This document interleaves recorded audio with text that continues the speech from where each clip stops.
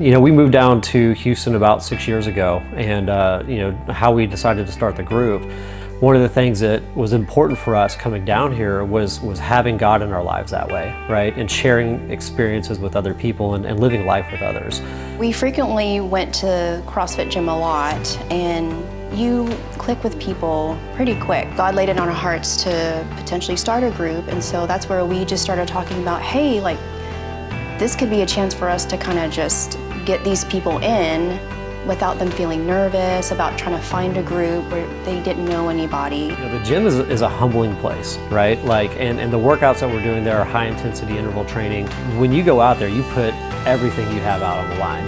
And what's great about it and the communities that you build there is that you have other people that know uh, all that you're going through, all the things that you've laid out to prepare for this, and they're cheering you on, and then they know the pain that you're in. And so like as you think about friendships and you think about you know what God has called us into, it's very similar. Like he knows us when we're at our best and he knows us when we're at our worst and he loves us the same. And it's just so awesome to have other folks there to be able to do life with like this. You know, some weeks and workouts are better than others. um, you know, no, no different than life.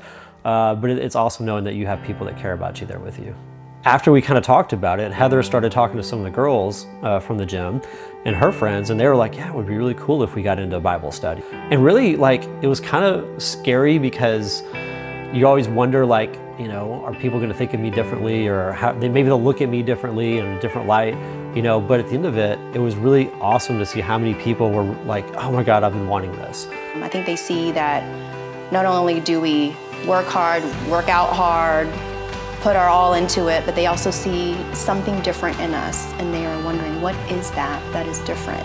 When we looked around and we saw all of these rich friendships that we were beginning and starting and had, I mean, God just really laid it on our hearts to say, hey, this is who you do life with. Like, why are you looking anywhere else? So a typical meeting for us, uh, we just come in um, and we just catch up on life, um, hang out and talk.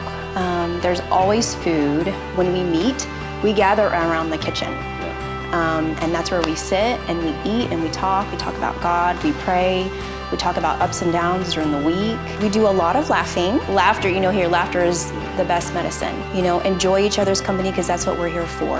If God has laid it on your heart to, to go all in with, with a group of people, God is inviting you into his playground, right? Like, how awesome is it that God has put these people in your lives, ordained where you lived, ordained where you work, you know, uh, formulated your life in such a way that these people are, are, are, pressing into your life and you're pressing into their life.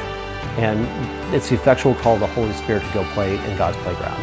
And how much more rich and meaningful could life be, not for yourself, but with others, when you can know people, be fully known, and be loved by one another. So go play. Just go play.